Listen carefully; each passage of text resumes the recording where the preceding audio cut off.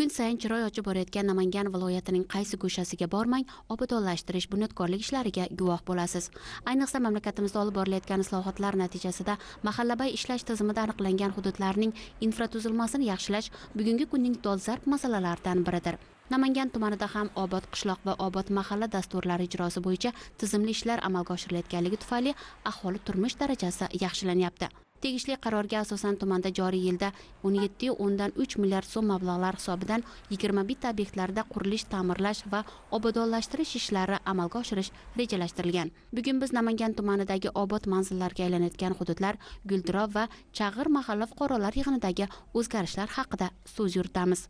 Obod qishloq dasturi doirasida guldirov mahalla fuqarolar yig'ini hududini obodonlashtirish infratuzilmasini yaxshilash maqsadida o'n bir milliard yetti yuz o'ttiz uch million so'mlik ishlar amalga oshirilishi rejalashtirilgan edi.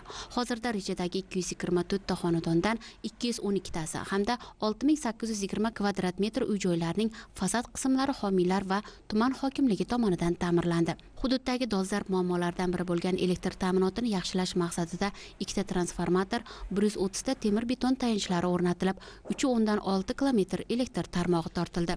Bu esa kuz qish mavsumlaridagi ehtiyojning ortishi hisobiga zo'riqib ishlayotgan transformatorlar yukini yengillatib ta'minotni yaxshilanishiga xizmat qiladi. Ayniqsa hududdagi o'n oltinchi sonli umumta'lim maktabini uch milliard so'm mablag' evaziga rekonstruksiya qilinishi qo'shimcha to'rt yuz yigirma o'rinli yangi bino qurilayotgani qishloqdagi o'g'il qizlarning zamon talablari darajasidagi keng va yorug' xonalarda bilim olishlarini ta'minlaydi. Hozirda bunyodkorlik ishlari omad sanoat servis mas'uliyati cheklangan jamiyati tomonidan jadal sur'atlarda olib borilmoqda. Shuningdek to'qqizinchi sonli maktabgacha ta'lim tashkilotining eski binosi buzilib uch o'ndan sakkiz milliard so'm hisobiga bir yuz yigirma o'rinli yangi zamonaviy bino qurilishi rejalashtirilgani ham qishloq ahli uchun ayni muddao bo'lyapti. Qirq birinchi maktabimizga qo'shimcha ikki yuz o'n o'rinli bino qurilyapti. Prezidentimiz yaqinda farmonlariga binoan yana dastur berdik. Bunga asosan maktabimizga sport zal faollar zali va kutubxona qurib berish arafasida turibdi. Bundan bizni yoshlarimiz juda yam xursand. Guldirov qishlog'imiz polvonlar qishlog'i. Qorato'y polvonlar akbarali polvonlar chiqqan. Albatta biz bu avlodlar nabiralari farzandlarimiz mana besh tashabbus doirasida ham o'tgan safar birinchi mavsumda kurash musobaqasi yo'q edi. Kurash sport turi ikkinchi mavsumda kurash musobaqasi qo'shildi. Albatta bundan juda ham xursandmiz.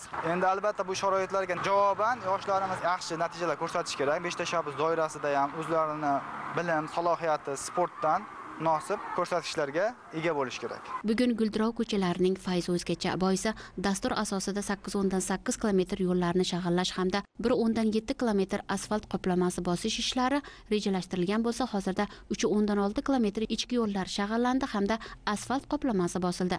Endi katta kichik yog'in sochinda loyga botmaydigan chang yutmaydigan bo'ldi. Ayniqsa yaqin fursatlarda biru yuzdan yetmish besh kilometr piyodalar yo'lakchasi qurilib o'ttiz sakkiz dona ko'cha chiroqlarining ishga tushirilishi mahalla husniga husn qo'shish barobarida aholiga qulaylik yaratadi. Qishlog'imizda katta o'zgarishlar bo'ldi. Ichimlik suvi yo'q edi. Ilgari bo'lgan ichimlik suvlari trubalari chirib suv kelmay qiyinchilik bo'lgan suvlarni toshib ichardik. Ko'chalarimiz chang edi e, qorong'i edi yorug' bo'ldi ko'chalarimiz. Ichki ko'chalarimizni ham yaxshilashyapti hozir. Kelajakda ichki ko'chalarimiz ham asfalt bo'ladi. Bolalarimizni bilimli ilmli bo'lish uchun yangi maktablar tushyapti. Bular hammasi uchun prezidentimizga mingdan ming rahmat. Qishloqdagi xurniso opa ham bu kabi o'zgarishlardan juda minnatdor. Uzoq yillardan buyon qishloq ahlini qiynab kelayotgan ichimlik suvi muammosining bartaraf etilishi uzoqdan ichimlik suvi tashishga hojat qoldirmadi. Dasturga asosan o'nu o'ndan ikki kilometr ichimlik suvi tarmog'i tortish hamda bitta suv minorasi qurish rejalashtirilgan bo'lib hozirda o'nu o'ndan bir kilometridagi ishlar bajarildi. Mahallamizda rosa katta o'zgarishlar bo'ldi. Mahallamiz obod mahallaga kirib mana ko'chalarimiz asfalt bo'ldi svetlar yondi uyimizga suvlar keldi. Eng muhimi shirin suv keldi. Hammamiz xursandmiz. Mana bu yerga bolalar bog'chasi tushar ekan undan ham xursandmiz. Ko'chalarimiz u yoqda asfalt bo'lmagan joylar bor. Edi u ham yanada kiritilibdi. Xudo xohlasa aylar ham asfalt bo'lar ekan. Undan ham xursandmiz. Prezidentimizga rahmat. Guldiro mahallasidagi qurilish va bunyodkorlik ishlari nihoyasiga yetkazilsa ushbu hudud ham eng obod maskanlarga aylanishi shubhasiz. Qishloqqa tutash hududdagi chag'ir mahalla fuqarolar yig'inida ham ayni paytda ishlar qizg'in tus olgan obod qishloq dasturi asosida bunyodkorlik ishlari olib borilyapti. Buni qishloq markazidagi uch yuz o'rinli madaniyat markazining mukammal ta'mirlanayotganidan ko'rish mumkin. Usta no'mon xususiy korxonasi tomonidan ikki o'ndan yetti milliard so'm mablag' evaziga zamonaviy ko'rinish kasb etayotgan ushbu maskan tez kunlarda qishloq ahlining madaniy hordiq chiqaradigan sevimli go'shasiga aylanishi uchun astoydil harakat qilinmoqda. Hozirda ichki pardozlash ishlari yakuniga yetkazilyapti oltmish ikki yildan beri mana shu mahallada yashayman. Ish faoliyatim davomida asosan men o'qituvchi bo'lganman.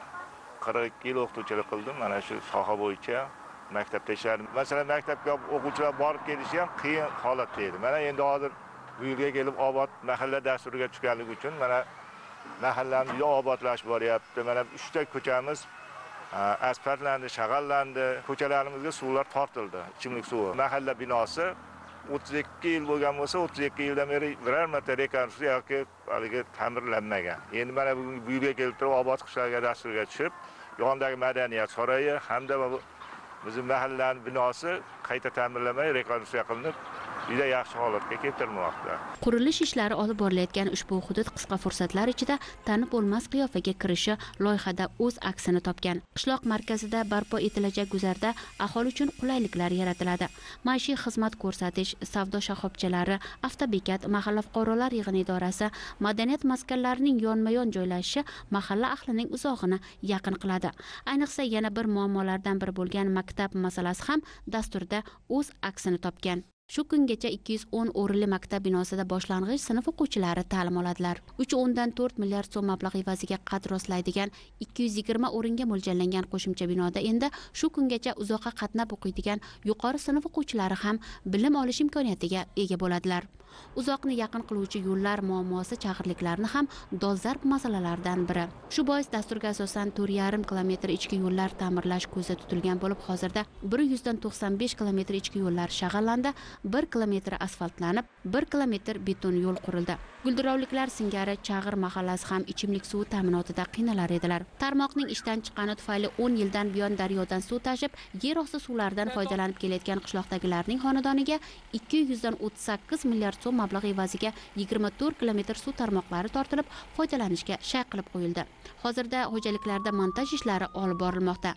Past kuchlanishli hududlarning elektr ta'minotini yaxshilash bugungi kunning dolzarb masalalaridan biri bo'lib manan eskirgan elektr tarmoqlarini zamonaviysiga almashtirilishi ushbu resursga bo'lgan ehtiyojlarni qondirishda muhim omillardan biridir.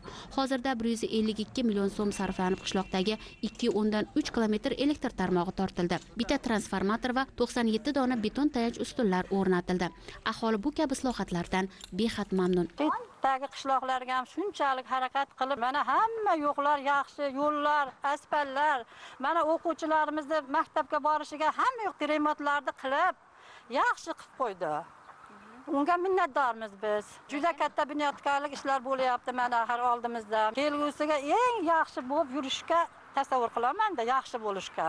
Qishlog'imiz qanchalik obod bo'lsa yashashimiz ham yaxshi bo'ladi. Shuningdek dastur doirasida bir yuz yigirma to'rtta uy joylarni ta'mirlash bozor infratuzilma obyektlari aloqa tarmog'i tortish piyodalar yo'lakchasini qurish kabi loyihalar amalga oshirilmoqda.